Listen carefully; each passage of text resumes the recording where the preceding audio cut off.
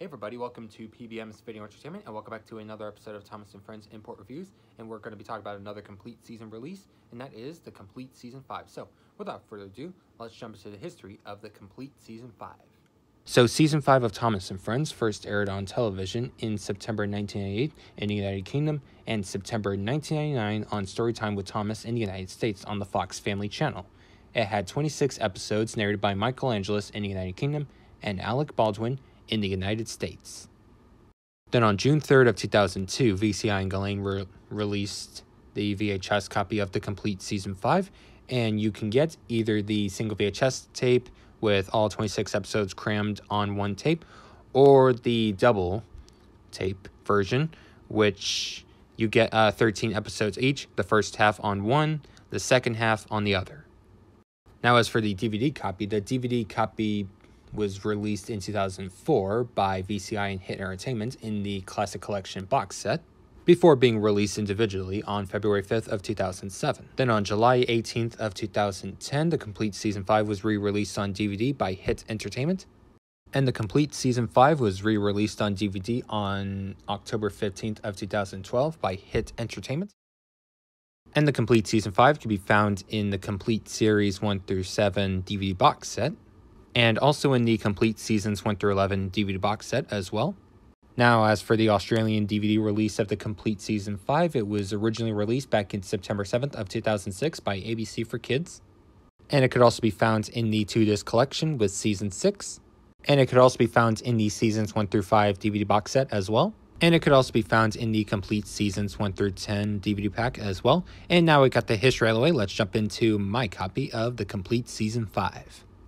All right, so we will now plunge into the DVD copy of the complete season five. This is the 2012 hit copy.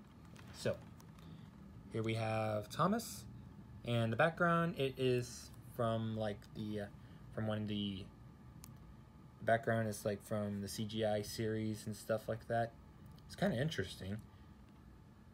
Well, this is a season from the excuse me, a season from the model era, of course. On top it says, special edition, over two hours of Thomas, just like with the others. It's in a white case. Thomas Friends logo, the complete season five. It says series five, but I like to say season better than series. Since I live in the United States, 26 exciting stories. It's got a nice purple background, and there's the UK rating, classified U, and rated G in Ireland. New Style Hit logo. Scrolling down here. Kirk Buffalo Thomas. There's your UK and Ireland ratings. And the back, we've got Gordon, Henry, James, Percy, Edward, Toby, Cranky, and Stepney, and Rusty. Small blurb if you want to pause and read that. And this is a scene from, I believe, Thomas and the Storyteller, which kind of doesn't make any sense because that's not a season 5 episode, that's a season 11 episode. 26 exciting stories, DVDs region 2, and all that cover information right here, and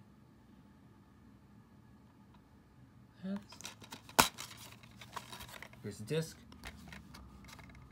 Basically, squish out version of the poster art. And like I said, it is region 2, so you'll need a region 2 DVD player or a region free disc player, like I do.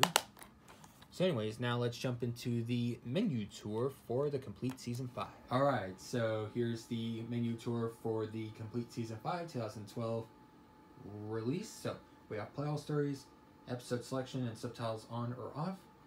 Let's go to episode selection, and there's no special features whatsoever, so bummer. Anyways, the episodes are Cranky Bugs, Horrid Lorry, A Better View for Gordon, Lady Hatt's Birthday Party, James and the Trouble with Trouble with Trees, Gordon and the Gremlin, by George, Baa, Put Upon Percy, Toby and the Flood, Haunted Henry, Double Teething Troubles, Stepney Gets Lost, Toby's Discovery,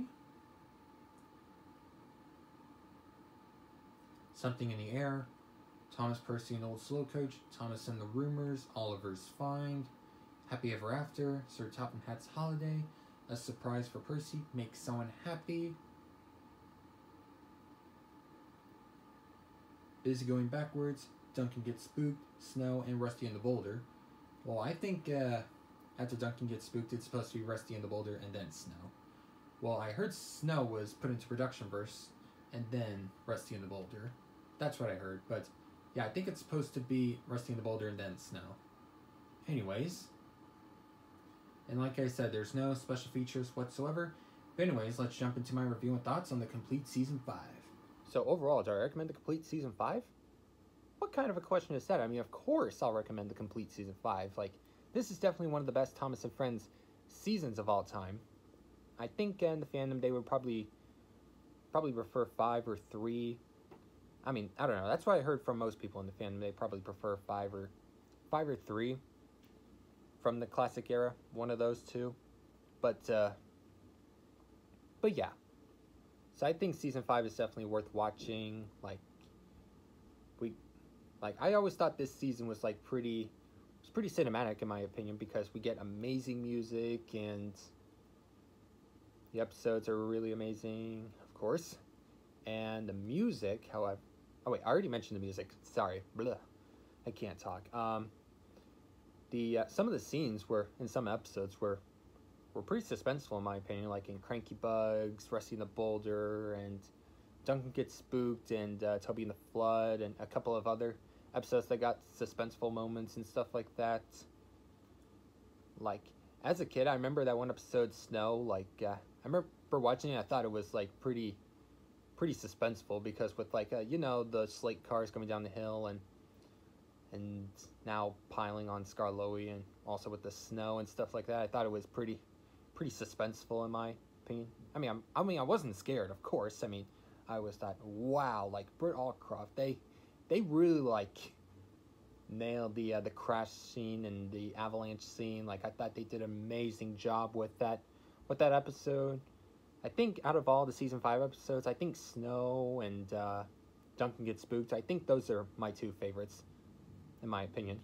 So, overall, I recommend you pick up season five. And fun fact, after season four, the Rev W. Awdry passed away somewhere around 1997, I think.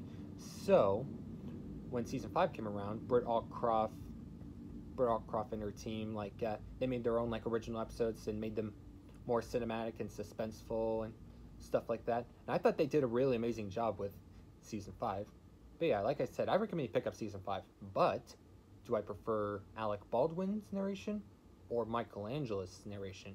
For me personally, I would say Alec Baldwin because, well, he is the narrator that I, that I grew up with when it comes to season five. I mean, I live in the United States, and of course, we got Alec Baldwin, and of course, in my opinion, even though Alec Baldwin's got mixed reviews from from some people in the fandom, like I personally think Alec Baldwin's definitely one one of the greatest narrators of all time for season five. And of course, uh, some people may not like Alec Baldwin's narration for season six, but I'll talk about more on that on season six. But season five, Alec Baldwin's narration is like really amazing and it's perfect timing and stuff like that. Nothing wrong with Michael Angelis. I mean, Michael Angelis, he's still good. He's not bad.